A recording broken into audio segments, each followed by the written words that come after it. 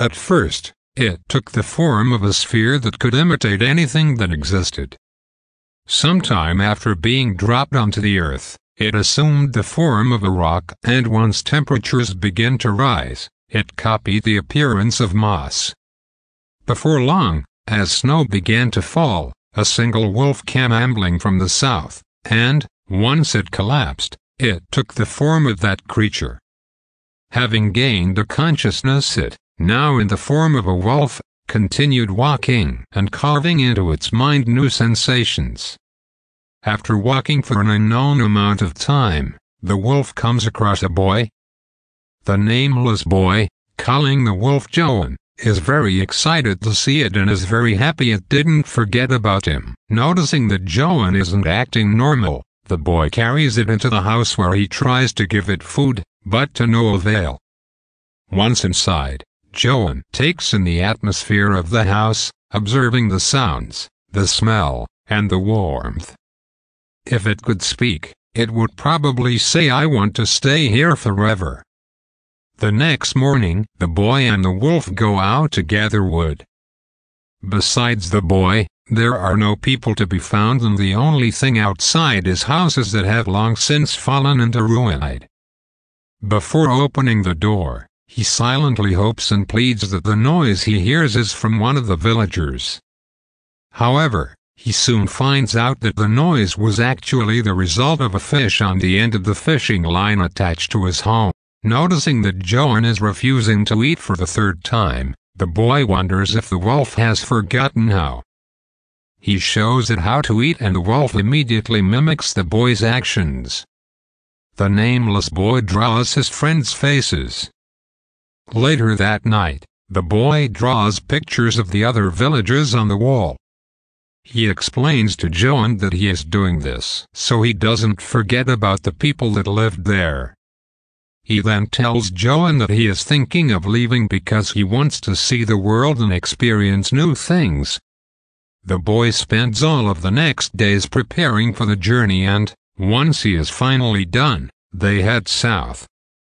After hours of walking, they come across a marker that tells them to continue heading forward and they decide to rest for the night. While eating dinner, the boy says he can't wait to eat something else besides fish and that he would love to try eating things like fruits and vegetables. After about five days, the boy finds a bush that he says proves they are getting closer to the mountains, and, just as they are about to continue, the boy slips and falls into the water, injuring his left leg. They decide to stop for the day so the boy can tend to his injury. He tries to reassure himself that it is just a flesh wound and that he can keep going.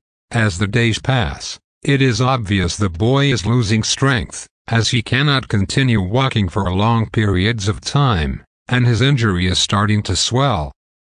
He continues to try and convince himself that turning back now would be foolish and that surely they don't have much farther to go. Just as he says this, the boy spots a marker with a crossed out arrow, telling them that going forward will not lead to paradise. To the left, the boy sees broken down wagons and multiple headstones.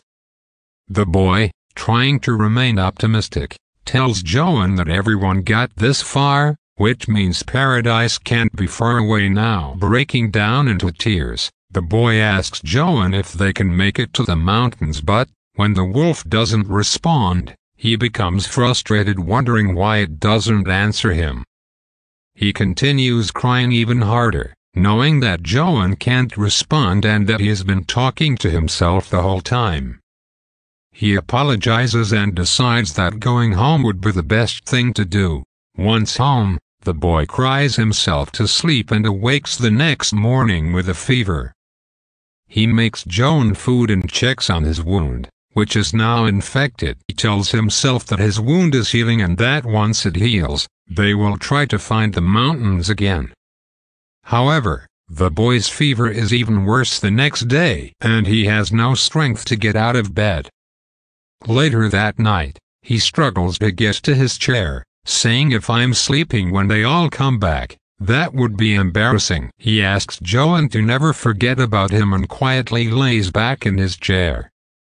The next scene with the boy shows him meeting up with all of the other villagers and traveling to find the mountains. They eventually reach their paradise where they find other people. After an unknown amount of time, the boy's body falls to the ground. The wolf tries to get him to move but is unsuccessful.